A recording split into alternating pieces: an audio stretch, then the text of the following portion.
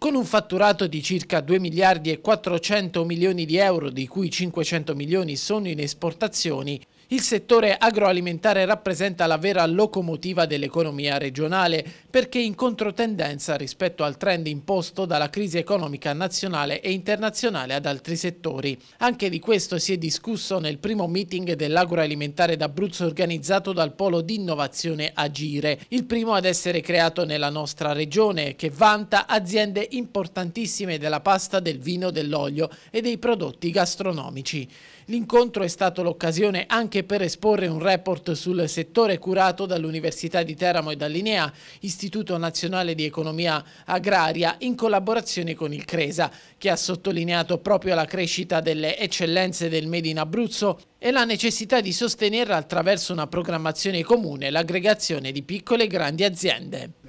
Gli sviluppi del Polo Innovazione sono eh, in corso, il Polo Innovazione serve per aggregare le aziende, per fare progetti di cooperazione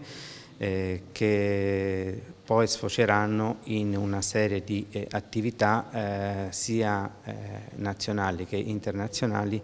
rivolte allo sviluppo delle, del, delle aziende del territorio abruzzese. Eh, non soltanto questo perché tra l'altro tanti bandi, tante eh, possibilità di avere accesso a finanziamenti pubblici passano attraverso i poli. Oramai eh, la cultura dell'appartenenza al polo è diventata eh, fondamentale e l'appartenenza stessa è eh, obbligatoria eh, per alcuni bandi, per accedere a alcuni bandi.